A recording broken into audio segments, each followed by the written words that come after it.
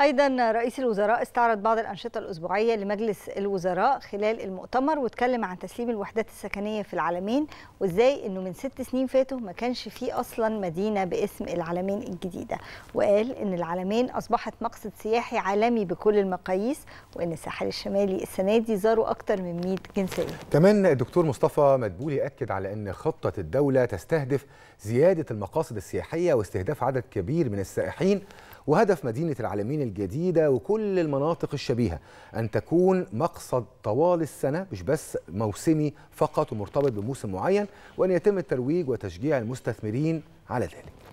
حابب إن إحنا يعني استعرض بعض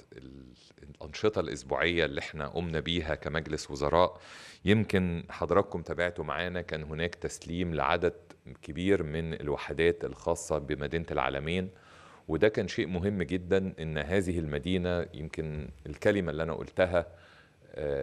إن هذه المدينة منذ ست سنوات ما كانش موجود مدينة خالص على الإطلاق. النهارده الحمد لله مدينة العالمين بقت النهارده يعني مقصد سياحي بكل المقاييس مقصد سياحي عالمي. أنا عايز بس أقول لحضراتكم إن الساحل الشمالي هذا العام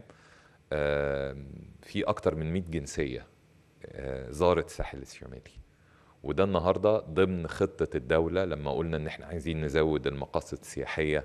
في مصر وإن إحنا نستهدف عدد كبير من السائحين. النهارده الحمد لله الساحل الشمالي بقى النهارده مقصد رئيسي زي ما كان دايما بنتكلم على شرم الشيخ والغردقة ومدينة القاهرة لا النهارده بقى الساحل الشمالي أيضا مقصد مهم وهدف مدينة العالمين والمدن الأخرى زي راس الحكمة وكل المشروعات إن ما يبقاش الساحل الشمالي هو منطقة موسمية يا دوبك ثلاث شهور ولكن يبقى بجد على مدار العام هو مقصد سواء للسياحة أو حتى لعملية التنمية العمرانية. وعشان كده هدف تواجدنا في المدينة كل سنة إن إحنا نشجع هذه الأفكار وإن إحنا نشجع المستثمرين والقطاع الخاص سواء من مصر أو خارج مصر على الاستثمار في منطقة الساحل الشمالي ونسلط الضوء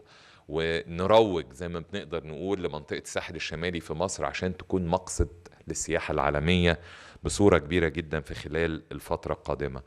أيضا كنت سعيد جدا جدا بوجودي في رالي السيارات الكهربائية وكنت فخور جدا بالشباب المصري